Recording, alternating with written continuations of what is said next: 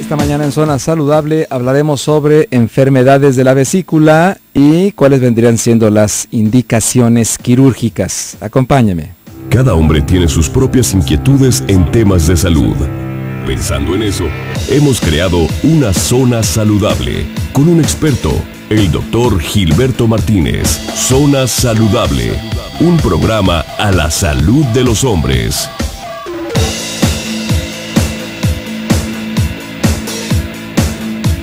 Hola, ¿qué tal? Muy buenos días. Los saludo con mucho gusto y le doy la más cordial bienvenida a Zona Saludable, transmitiendo desde el 91.5 de FM, Zona 3.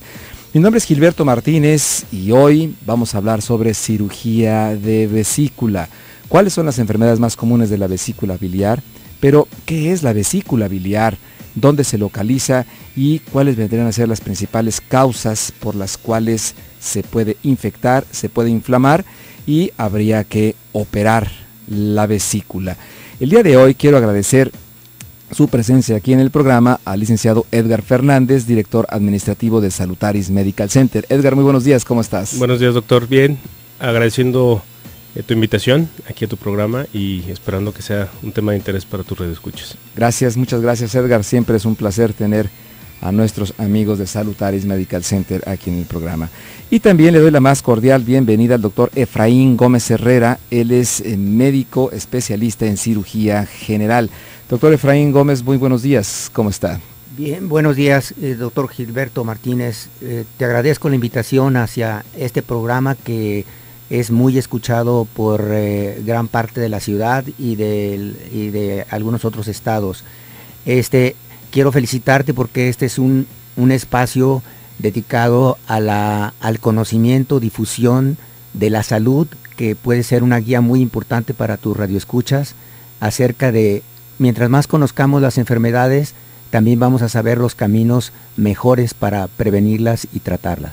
Gracias, muchas gracias, doctor. Efectivamente, creo que los médicos eh, debemos de seguir siendo portavoces del conocimiento porque es la base para tener, conservar y recuperar nuestra salud. Si te parece, eh, eh, doctor, pues te preguntaría, ¿qué es la vesícula biliar y para qué sirve?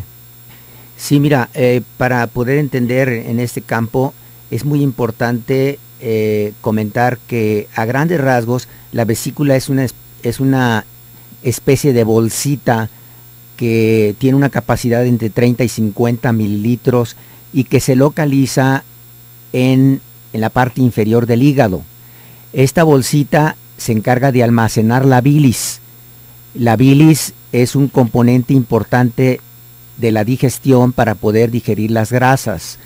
Y este, esta vesícula tiene la función de que cada vez que comemos, eh, si la dieta tiene eh, una parte de grasas, la vesícula entra en función para poder entrar a la digestión de estas grasas. Eh, intervienen varios mecanismos ahí que yo creo que sin profundizarnos, lo más importante es que al llegar las grasas en la primera parte del intestino que se llama duodeno, ahí se produce una hormona que es la que se encarga de avisar a la vesícula de que entraron grasas a esta parte del intestino y esa hormona que se llama colecistocinina se encarga de contraer la vesícula para que ésta vacíe, expulse la bilis hacia el intestino y que todas las grasas de la dieta pueden ser emulsionadas o, o parte del proceso para la digestión de las mismas. Entonces la bilis es una sustancia importante en el metabolismo. Exactamente, la bilis forma una parte importante del metabolismo de las grasas. De las grasas. De las grasas. Entonces, sin ese componente, podemos decir que la persona tendría problemas digestivos importantes de, las grasas. ¿Y cuál sería el síntoma o la molestia importante de la falta de digestión de las grasas? Sería la diarrea. La diarrea. Entonces, una persona que tiene problemas de la digestión de las grasas va a tener un problema de mala absorción de las grasas, la diarrea y el estado nutricional de esa persona va a comprometerse o a deteriorarse. Bien, el mito de me hiciste enojar y se me derramó la bilis, ¿en dónde queda, doctor? ese, ese mito realmente no existe, ¿no? Porque este, realmente la, eh, científicamente está demostrado que la función, el papel de la bilis es ese, ¿no? Aparte de proporcionar también algunos otros elementos como agua, electrolitos y, y también un componente importante de la bilis que es el, el bicarbonato que es eh, para poder contrarrestar los ácidos del estómago, que esa es otra función mucho, muy importante. Bien, ahora doctor, ¿qué es lo que eh, produce o cuáles vendrían siendo los factores que hacen que esta bilis se condense, se precipite y entonces forme cálculos? Este, fíjate Gilberto que esa, esa pregunta es muy interesante porque eh, resulta que la bilis tiene que tener tiene, para empezar, tiene su composición es agua, este, sodio, potasio, calcio, este, fosfolípidos, muy importante, las ácidas biliares. Todos estos componentes tienen que mantenerse en un equilibrio. Ese equilibrio puede romperse porque, por ejemplo, la acidez o alcalinidad de la bilis, ya lo comentaba que tiene que tener una alcalinidad importante para poder contrarrestar los ácidos del estómago. Este, esa alcalinidad si se altera, por ejemplo, si el pH, en este caso que, para no confundir a tu público, este, realmente esa acidez, si, si baja de, de, esa, eh, de esa alcalinidad, que puede ser de 7, vamos a, comentarlo, este, si baja, esa alcalinidad se vuelve un poco ácido la, solución o la bilis. Y si la bilis se pone ácida, ácida va a hacer que las partículas de eh, fosfolípidos y la, los componentes, las moléculas de la bilis se van a desestabilizar y va a hacer que se empiecen a formar cálculos o piedras en la vesícula. El calcio es un detonante muy importante junto con los fosfolípidos para producir los cálculos de colesterol que también hay cálculos de pigmentos, que es cuando todo tiene que permanecer en un, equilibrio, fíjate. Si el intestino normalmente se encarga de, absorber los nutrientes, el agua, electrolitos, también se encarga de absorber los ácidos biliares. Y los ácidos biliares tienen que regresar a través de la circulación al hígado para que en el hígado se vuelva a hacer un nuevo ciclo de la formación o conjugación de la bilis. Si ese ciclo se altera porque una persona tiene una enfermedad del intestino o, porque tiene una cirrosis hepática o, cualquier otra enfermedad del hígado que comprometa estas funciones, la bilis va a tener eh, alteraciones que van a predisponer a formar cálculos ya sea de colesterol o van a, a predisponer a tener cálculos de pigmentos biliares. ¿sí? En enfermedades, por ejemplo, de la sangre, porque si nos vamos más allá de dónde vienen la, formación de los ácidos biliares, pues recordemos que la hemoglobina que viene dentro de los glóbulos rojos, esa hemoglobina forma unos pigmentos, que esos pigmentos es a base de hierro y otras moléculas que es el pigmento M. Ese pigmento se conjuga a nivel del hígado y tiene que ser un ciclo muy bien estabilizado entre lo que absorbe el intestino, lo que llega al hígado y lo que se excreta para mantener un equilibrio. Si se rompe ese equilibrio por cualquier enfermedad del hígado o del intestino, pues entonces va a haber alteraciones en las sales biliares y ahí es donde este, se viene la formación de cálculos.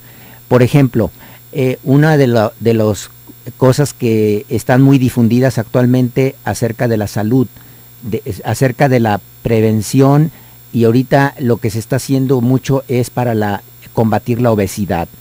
si, tenemos una población que es obesa, el hígado va a tener almacenamiento de más ácidos grasos y, y, hemos visto cada vez más frecuente a través de los estudios de ecosonogramas el hígado llamado graso. O sea, el hígado también está obeso. El hígado también está obeso. Y eso obviamente que va a ser un hígado que no va a funcionar correctamente para el equilibrio que yo acabo de decir. Entonces, esa, esa función del hígado va a trastornar el equilibrio de, las de los ácidos biliares y, la excreción va a predisponer a que se formen cálculos. Y, comentaba que también enfermedades hematológicas o de la sangre también van a predisponer, este, cuando hay destrucción de los glóbulos rojos, a predisponer que se forme una sustancia que se llama bilirrubina y esa bilirrubina va a hacer que se incremente y el hígado no va a poderla sintetizar y se va a romper el equilibrio que ya, que ya acabo de mencionar. Entonces va a ser cálculos de pigmentos biliares.